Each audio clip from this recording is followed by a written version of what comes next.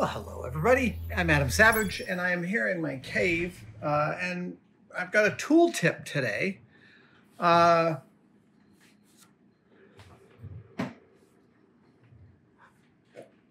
the first time I had to delineate between one kind of wrench and another was long before I was making things. It was when I was a kid and there was a scavenger hunt. And they said, find an Allen wrench. And one could easily look at the two phrases, Allen wrench and crescent wrench, and think that they might have something to do with each other. But then you go and you look at them and you see that this is an Allen wrench and this is a crescent wrench. And well, it turns out that wrenches go all over the place. So, in the interest of uh, continuing wrench education, uh, I'd like to talk about a wrench that most of you became familiar with in Bugs Bunny cartoons. Oh, you now know the one that I mean. Yes, the monkey wrench. This wrench, which admittedly looks somewhat primitive because, well, like a lot of things that look primitive, like coelacanths and chickens, um, it's because their their their origins date back to antiquity, and uh, similar to sharks, uh, they haven't changed much in the intervening hundred years or so that we've been using them. Um, I have many monkey wrenches in my shop. Uh, I have five, five. Okay, that's many. Um, I have a couple from Husky, which I really like. This is a kind of a basic model. This is one of their more advanced models. I can't speak to, uh, they all operate in similar ways, but let's talk about how they operate. So how does a pipe wrench work? Well, obviously any glance at a pipe wrench makes it clear that by activating this nut, you change the distance between the jaws.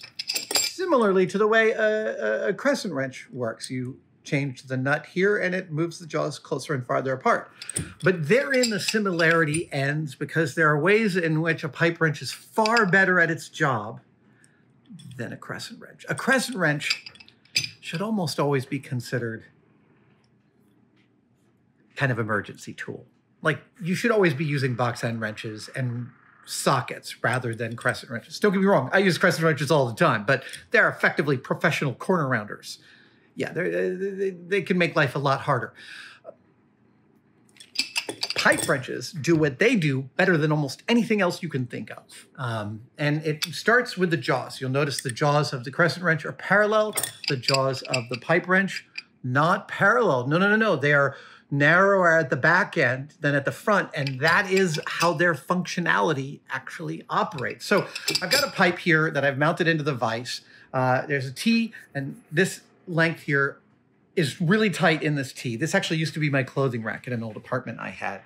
Um, so the way a pipe wrench works, if you went and did this with a crescent wrench, and this is for the fully uninitiated into wrench land, you, you don't have anything to grab onto with a crescent wrench. I mean, I guess with a crescent wrench, you can grab the outside of the T, and I have definitely done this if I had to, but it's not, it's far from optimal. Oh my God, it's so far from optimal.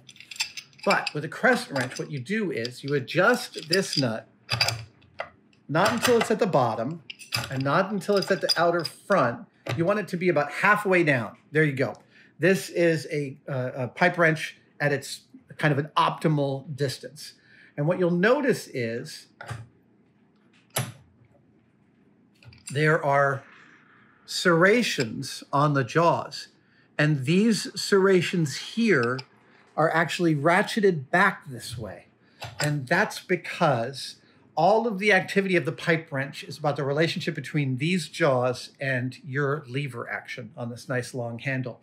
So when I set this onto the round pipe, um, the harder metal of the jaws bites a little bit into the metal of the pipe. That's by design. Now, when it bites, it's biting into a ratchet, so it doesn't want to go anywhere. In fact, because that ratchet's pointed up in that direction, it wants to dig deeper. So when I pull on this lever, and I am actually doing this for real now, I start to move the pipe. Yeah. And it takes way less effort. Now, it, it does mark your pipe. That's part of using a pipe wrench. But then watch this with just like one hand, I reactivate Ah, and so this is the best thing about a pipe wrench is it grabs really hard, but lets go really easily. And you should never do this with plumbing that you haven't turned the water off, et cetera, et cetera, et cetera. All the caveats for home repair. This is only an introduction to pipe wrenches, not pipes or piping or plumbing of any kind. Uh, yeah, and if you are going, if you are going to add a pipe wrench to your shop collection, I recommend you buy two. Uh, again, like I said, Husky makes a bunch of different kinds. I have three or four. Uh, I have, I don't even know what this one, who makes this one. What is this? Pittsburgh. Um, you always want two pipe wrenches. You don't ever want to be in a situation where you need two and you don't have them, and they're fairly inexpensive. And hell, you can pick them up on eBay for like probably 10 bucks, an old rusted one. I have never found a pipe wrench that didn't work for me. The tolerances on these are all really, really loose. And while this looks like a primitive tool, I'm here. I'm, I'm, I'm, I'm here to report that the only reason it looks primitive is because it's unchanged, and the reason it's unchanged is because this puppy works.